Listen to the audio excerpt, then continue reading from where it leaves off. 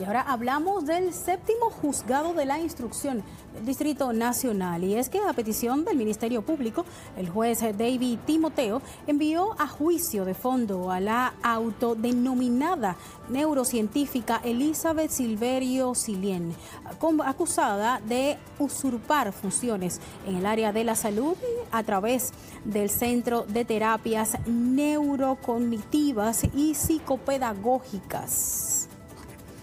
Yo estoy de acuerdo con la decisión.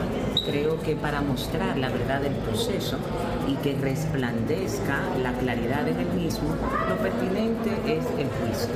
Pues es allí donde se puede demostrar que ningún papá fue estafado, que yo nunca he dañado a ningún niño, que no le hice ningún daño a esta República Dominicana, que por el contrario, si un papá llegaba donde nosotros, le ayudamos. Y lo demostré cuando, ¿verdad? Di el discurso, dije previamente a cada papá uno por uno, a los que después del 17 de mayo salen como víctimas, pero que antes de ese día no lo eran. Entendemos nosotros que eh, aplicó su autonomía e independencia, envió a nuestra patrocinada a juicio.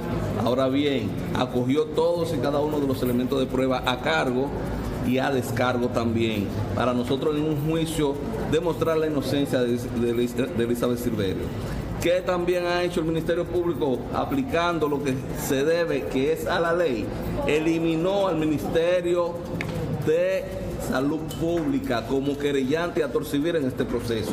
No tiene calidad el Ministerio de Salud Pública, pero también eliminó el artículo 60 de la Ley de Educación, por lo cual entendía que no era pertinente ni relevante para este proceso.